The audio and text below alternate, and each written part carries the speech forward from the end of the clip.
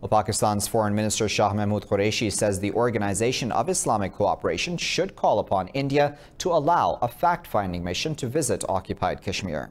In a telephone call with the OIC Secretary General Yusuf Al Uthaymeen, Qureshi said India's actions in occupied Kashmir have threatened regional peace.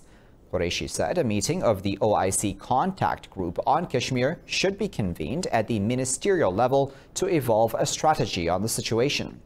Al Uthaymeen said the OIC will continue to play its role in support of the Kashmiri people.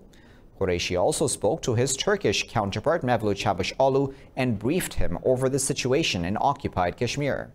Meanwhile, the special envoy for diplomatic outreach, Ambassador Tahmina Janjua, briefed the UN Human Rights Council in Geneva about rights violations in occupied Kashmir.